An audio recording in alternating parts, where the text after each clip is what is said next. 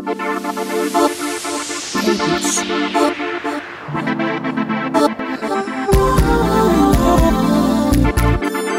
home style.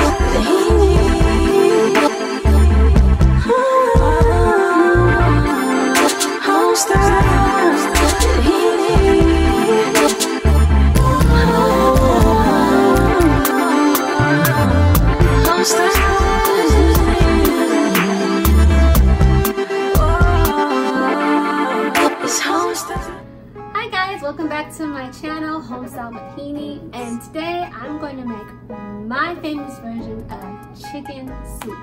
Because right now in my house, I have two sick people. My husband is sick, he got sick from Cadence, the baby, because he has a cold. And so I don't want to get sick. Can't have everybody sick in this house, so I'm going to make some chicken soup to nourish everybody back to health. And this recipe is my own recipe. Um, it's great for everyone. My baby's 15 months and he can definitely eat this. So let me show you what ingredients we have today. I like to work with fresh, fresh herbs. So I have some bay leaves, some thyme, marjoram, which I absolutely love, and oregano. And then I'm gonna add some lemon juice. I got diced celery, carrots that have been peeled and diced, onion, this is a yellow onion, red potato, and chicken breast that I chopped up. Now you don't have to chop up the chicken breast, but I like to because I put the chicken in the bottom of the pot. And it's kind of hard to get to the chicken once everything is cooked, when everything is on top. So I just went ahead and diced it. So first, let's go ahead and get started. I'm going to put my chicken in first. And next, I'm going to sprinkle a little olive oil on it because I like to season my chicken first. Add about a teaspoon of kosher salt. Teaspoon of onion powder.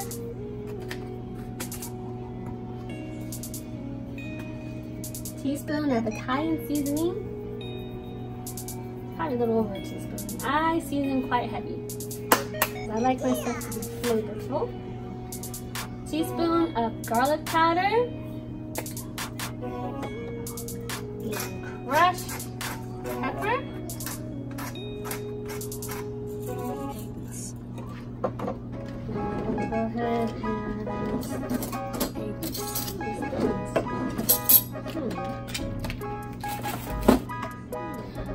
So now I got my chicken in, I'm gonna go ahead and I'm gonna add, this is probably close to two cups of diced celery. Two cups of carrots that have been skinned and sliced. And again, you don't have to use this much. You can use little or more if you want. I'm making a pretty big batch and I like to put lots of vegetables in my soup. This is probably close to two cups of sliced red potatoes. You don't have to use red potatoes. You can use white, you can use Idaho. I just use red because this is what I had in the house. And I'm gonna add, this is one whole yellow onion that has been diced.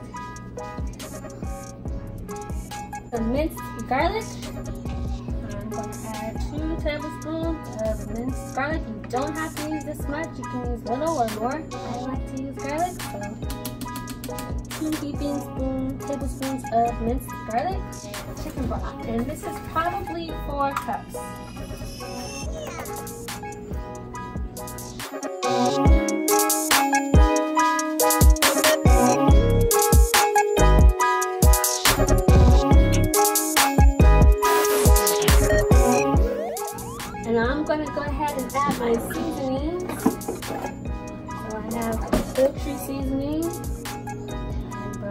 Tablespoon, yeah, it's probably close to a tablespoon of that.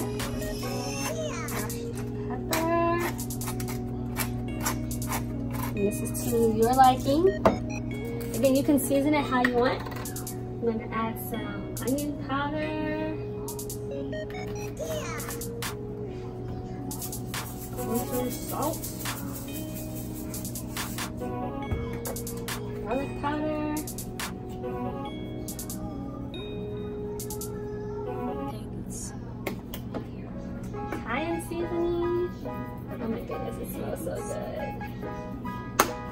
And I love coriander, so I'm gonna put some coriander seeds in there, just a few. And then notice like once it's fully cooked, the seeds soften, um, so it's not really that hard to chew, but you can take them out um, after a little while if you don't want them in there, or you don't have to put them in there at all, but I like to use them. But when I give it to the baby, I definitely make sure there aren't any in there. I'm gonna give that a mix. Up.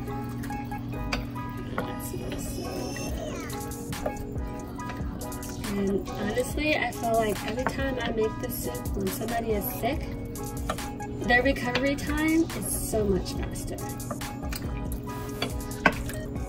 And then what you have a choice of what you could do. You can either bunch all your herbs together and wrap them in twine and stick them on top.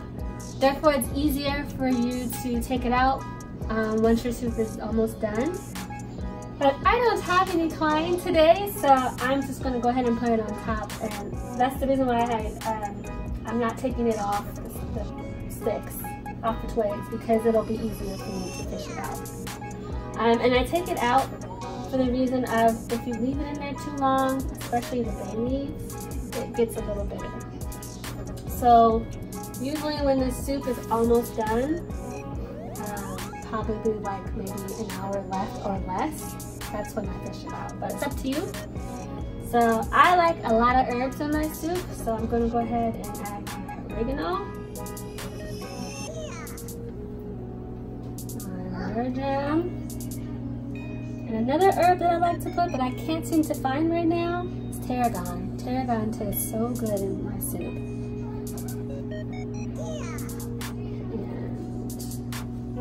Got my fresh thyme. And three bay leaves. Now you can use dry bay leaves, you can use dry herbs, but I like to use fresh herbs because this really gives it a fresh flavor. And then I like to add some lemon juice.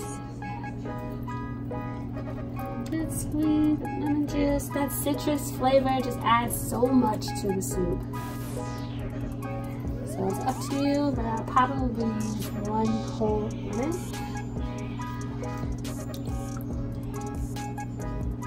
Smell that lemon juice, this is gonna be so good. And another thing if you want to do, um, if you want to put noodles in your soup, you can go ahead and X out the potatoes and just use noodles. Um, but I decided just to use potatoes. So I'm just gonna push that in. I like to leave it on top, but I want to push it down just so it can seep down into the bottom. Um, and again, it, it's because you're leaving it on the, the stems or the, the twigs or sticks, um, it'll be easy to find.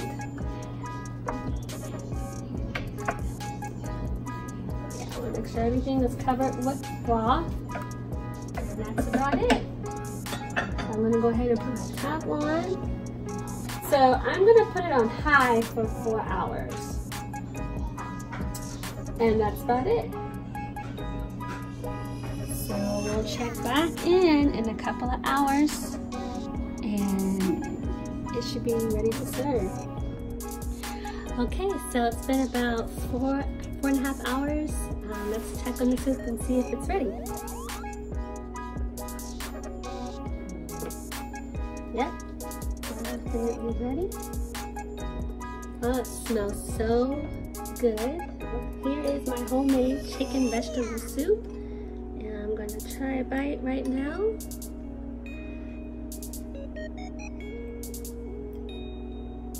Oh my goodness, it's really good. Mmm. Nice and tender, very flavorful. All right, well, that concludes my video. Please subscribe if you're not already subscribed to my channel and go ahead and click that bell icon so you can get notifications of my new postings. Feel free to leave me a comment to let me know if you tried it. Also, um, what are some of the soups that you make. I'm always open to trying new recipes. So go ahead and share them in the comments box below. And that concludes my video. I'll see you next time. Bye.